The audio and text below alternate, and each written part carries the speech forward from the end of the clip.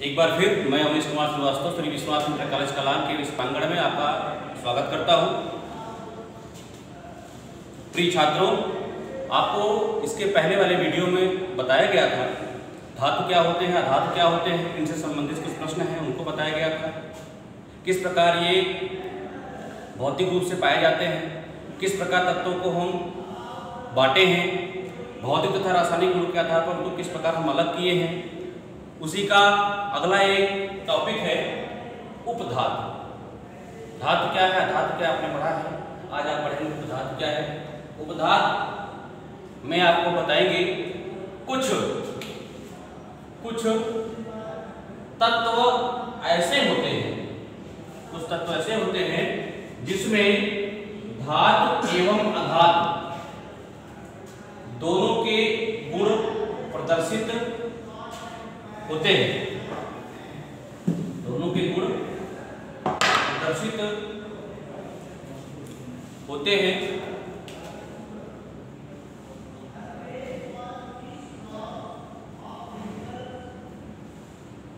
उपधात कहलाते हैं।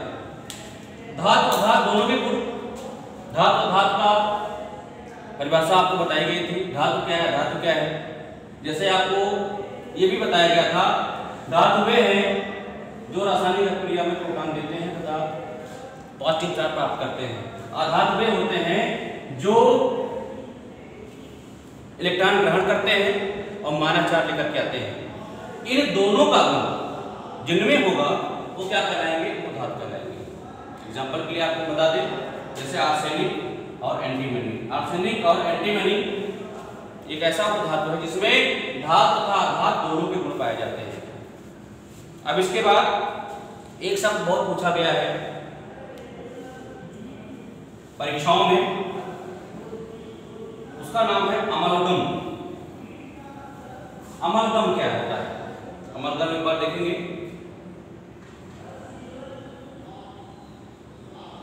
अमलगम। बच्चों, इसको बताने से पहले एक बात आपको हम बताएँगे।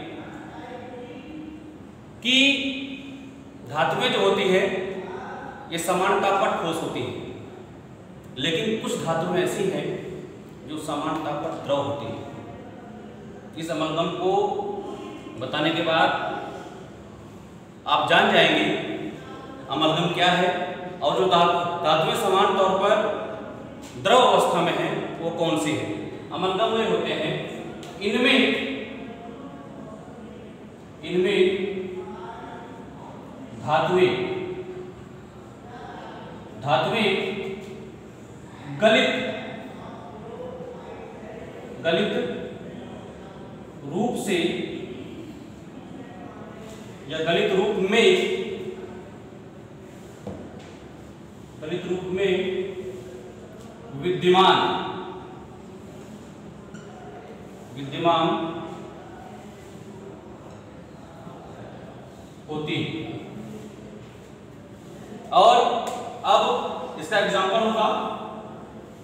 जैसे वह कौन सी धातु है जो समान ताप का द्रव है, उसका नाम लिखेंगे एच जी इसको हम बोलते हैं मरकरी। या इसका एक और नाम है पारा। आप लोग जब आपका फीवर चढ़ता है डॉक्टर के पास जाते हैं, आप लोगों ने पारा देखा होगा। उस पारे का जो सूत्र है एच जी ये सामान्य ताप पर द्रव के रूप में होता है और ये धातु कहलाता है। और जिनमें धातुएँ गलित अवस्था पाई जाती है, वो आपका अमलगम कहलाता है। ये आपका अमलगम है। मर्करीज का एग्ज़ाम्पल विद्यार्थियों, आगे हम देखेंगे। धातु और अधात के जो रासायनिक गुण हैं, क्या है ये?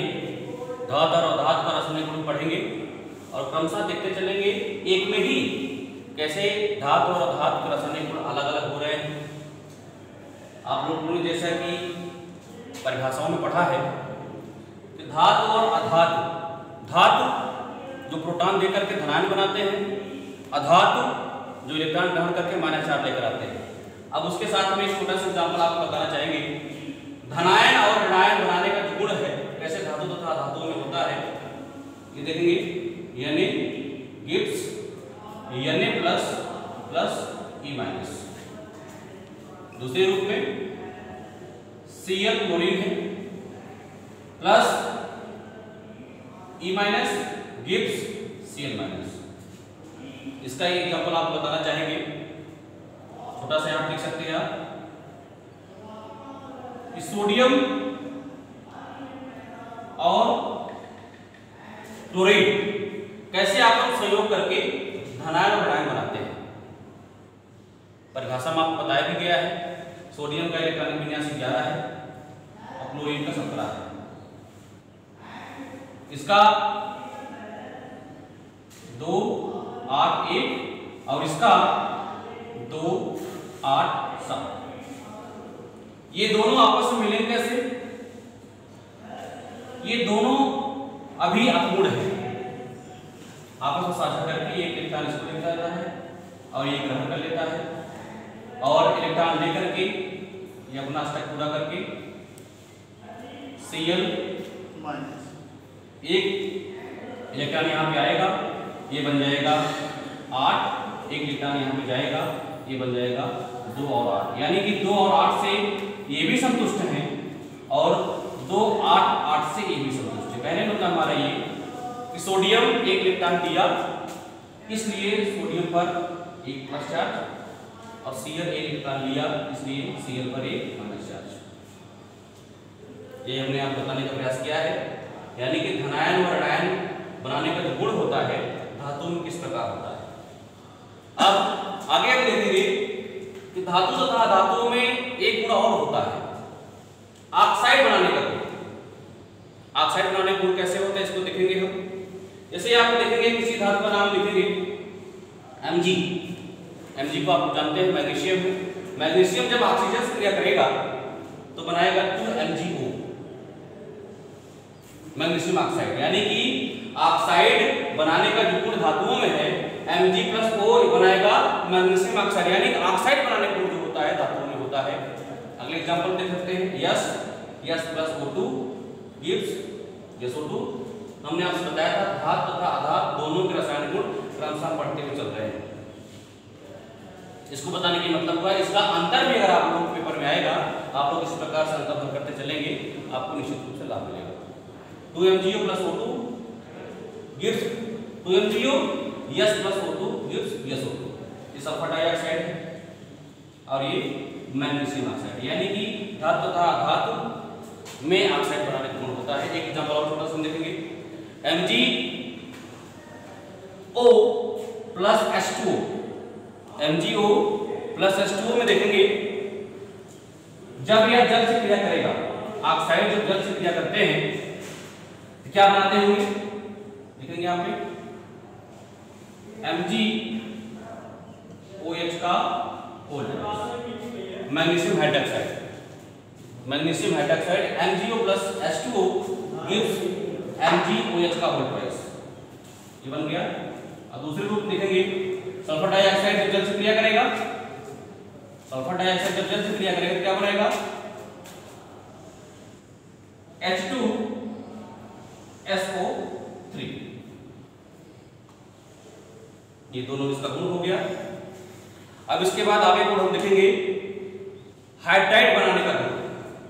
धातु तथा धातुओं में हाइड्राइड बनाने का गुण कैसे होता है?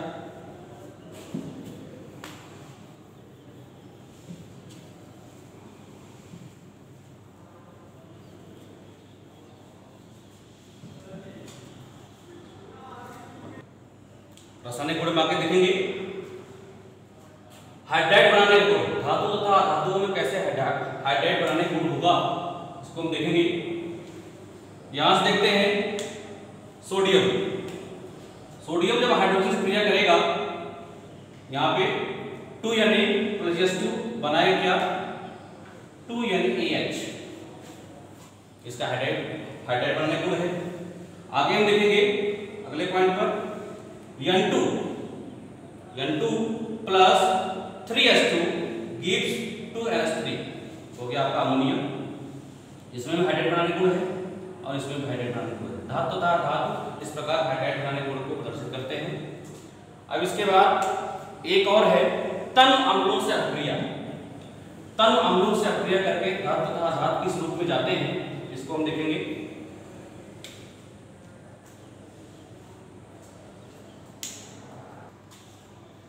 रासायनिक गुण हम देखेंगे तन अम्लों से कैसे अक्रिया करता है। ये बेटा सबसे महत्वपूर्ण है? इसको थोड़ा हम देखेंगे। तन अम्ल कैसे धातु से अक्रिया करें। Mg H2SO4 सल्फ्यूरिक अम्ल है। सल्फ्यूरिक अम्ल जब मैग्नीशियम में जाएगा तो MgSO4 magnesium sulphide plus H2 H2 gas के रूप में प्रवाहित होगा। और एक चीज़ और देखेंगे हम। तन अम्लों का अधातु पर क्या प्रभाव पड़ता है? आप देखेंगे। तनु अम्लों का अधातुओं पर कोई प्रभाव नहीं पड़ता है। छात्रों, इसको विशेष ध्यान देंगे। तन अम्लों का साथ क्या क्रिया होगी, आपने देखा। लेकिन जो तन अम्ल होते हैं, इनका अधातु पर कोई प्रभाव नहीं होता है।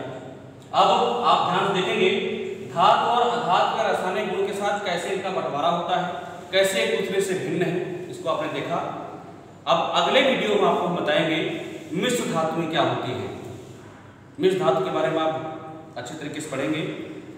प्रयास यही है, विश्वास भी यही है। आप लोग जिसको पढ़ रहे हैं अच्छे तरीके से समझेंगे। और आपको समझ में आ भी रहा होगा। जो प्रश्न इसमें समझ नहीं आ रहे हैं, विद्यालय ग्रुप पर लिंक जो दिया गया है, उसमें सबका नंबर भी होगा। सारे विद्यालय का टीचरों का नंबर होगा। उससे आप व्यक्तिगत नंबर फ़ोन करके आप पूरी पूरी जानकारी ले सकते हैं। धन्यवाद।